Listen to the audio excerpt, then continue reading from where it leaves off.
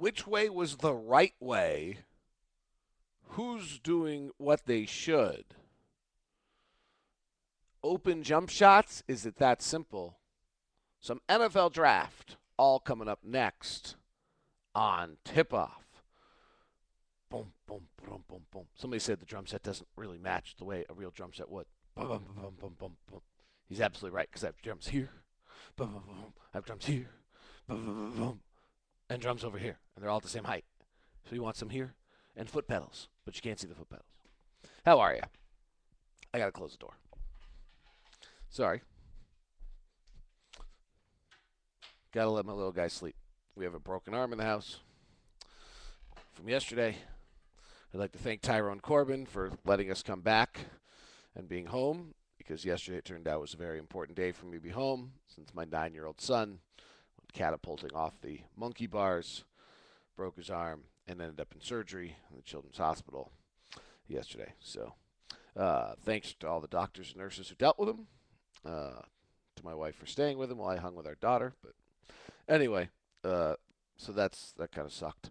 Uh, probably means this will be a little short today because a little extra stuff to get done this morning. Uh, I spent a bunch of time. There'll be at nine o'clock today. There'll be a post going up. Gosh, what what's the sequence? What I have here coming today? Uh, at nine o'clock today, I've got a post that should be ready uh, on every offensive possession of the Spurs in the first quarter. Just trying to look what's going on. Uh, the second and third quarters might get ready, might not. Um, I dug into that Oklahoma City game for a little while. Um, that was a pretty awesome game. I'll tell you, I picked Dallas to win that series, and I actually feel like it's it's really where predictions are ridiculous. Um, exactly what I thought would happen in that series has happened, uh, except for Dirk missed an, a huge three uh, and a pretty decent look late in the game that I, I just never expect him to miss. Uh, you know, give Oklahoma City credit; they're whole, they're they're not making many mistakes. I, I might have thought that they had a mistake or two more in them under this pressure. And other than Durant, who I would say looks a little flustered, uh, uh, they they look good. I, I, I have a question on that one, by the way. Who wins the MVP first? Russell Westbrook or Kevin Durant? Who wins the MVP first, Russell Westbrook or Kevin Durant? By the end of this playoff series, in these playoffs, Russell Westbrook might be higher the list. LeBron's going to win it this year. Rose has proved point guards can win it. I I think Westbrook might be the guy. And boy, is James Harden good. Oh my goodness, is James Harden good. Uh, James, uh, if someone doesn't max out James Harden, uh, I, I don't know basketball. That's a max player. That guy's going to score 24 game going line 10, 11 times. He's he's great. I mean, he's really great. Uh, and and it is clear that uh, Dallas is just a few guys short this year. Uh, when Delon, when you're, I mean, last year you were relying on J.J. Barea to make some big plays, and I guess that's not that different than Delonte West. But uh, they Vince Carter. Uh, whoever thought there's going to be a game where you talked about Vince Carter as a defensive rebounder, defensive player and a rebounder? Never thought I'd see that. All right, to the Jazz. Um, boy, I did a lot of film study yesterday. Defending Parker is obviously vital. Uh, I watched as much as I could. Uh, he gets into the paint a great deal. Um, the big issue is, you know, once he got inside 10 feet, he killed us. When he was outside 10 feet, he wasn't great. Um, and the bigger issue to me is how what our bigs were doing. And what was interesting is our bigs were all doing different things. So Jefferson and Millsap, for the most part, and maybe this is what was designed. Um, I don't know what's right or wrong here. I'm just sharing the facts. Uh, Jefferson and Millsap uh, were zoning the area back so that trying to force Parker what seems to be into a jump shot before he gets to the rim – but they were playing it so passively and so soft that that jump shot was a six footer floater uh, seven foot floater instead of forcing it into a 10 or 12 foot jumper. I mean, it was really passive. Uh, I'll post. I've I've saved some screenshots of Jefferson. I'll try to get that up. I'm trying to think if I get the other one up by nine. I'll try to have that other one up by ten ish, um, and then we fly it at two. So after a little while there, I'm done. Uh, and I got re- parenting things to do here for a while today as well. Um, so I'm, i hope I get those done. Uh, so, you know, Favors was coming out on the ball handler, shadowing him, not changing his route though. So he'd run the pick and roll, and Favors would get on him and shadow him. Kanter would uh, really hedge all the way out and change the route.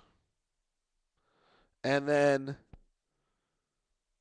uh, favors or Jefferson and Millsap would just hover in the middle of the lane.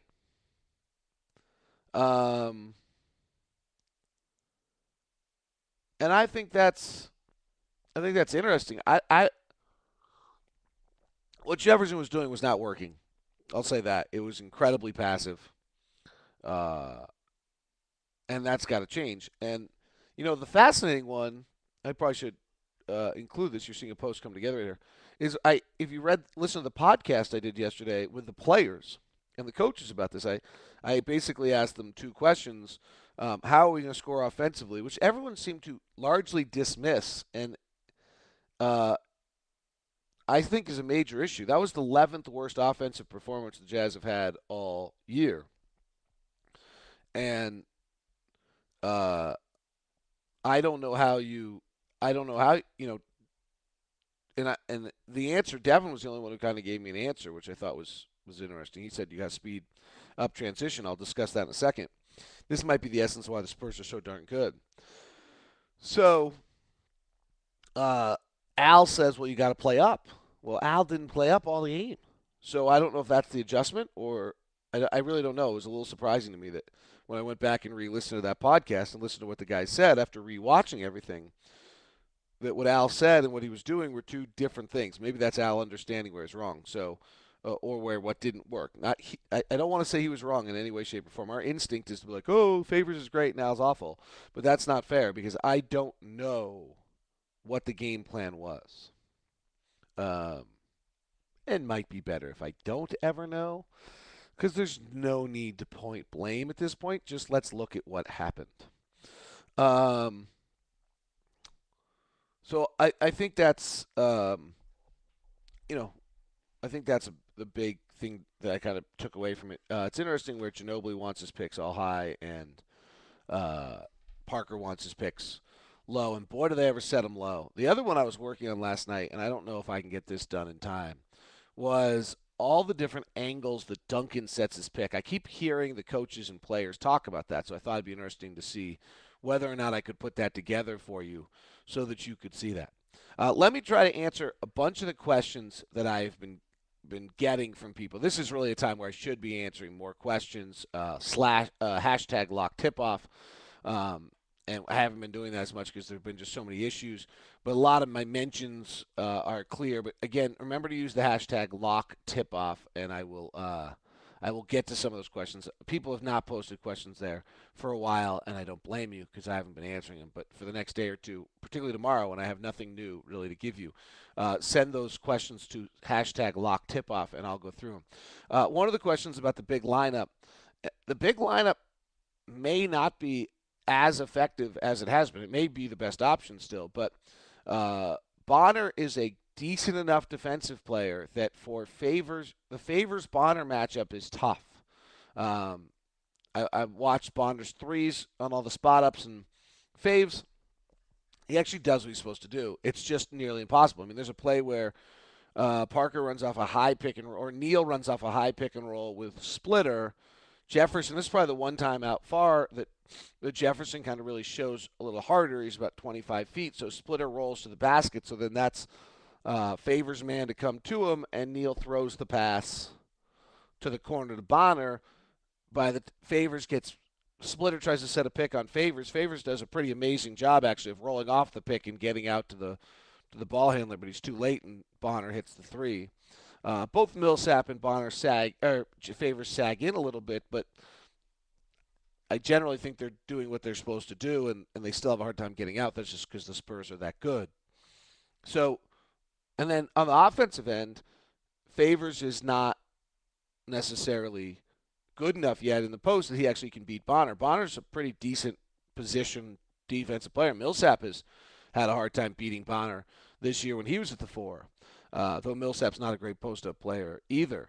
Um, and then Stephen Jackson on Millsap, that's that. I, I'm not sure that the Jazz get the the mismatch that they've been able to get there because Stephen Jackson's pretty big, and um, Stephen Jackson is is is not getting bullied around by at 6'8", 220.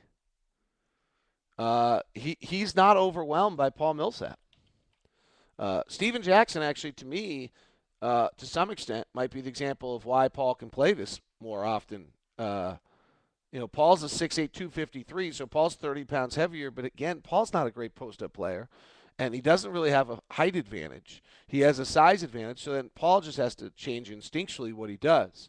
Uh, i still think the big lineup should be played because I think it's our best five on the floor, and it probably gives us our best chance.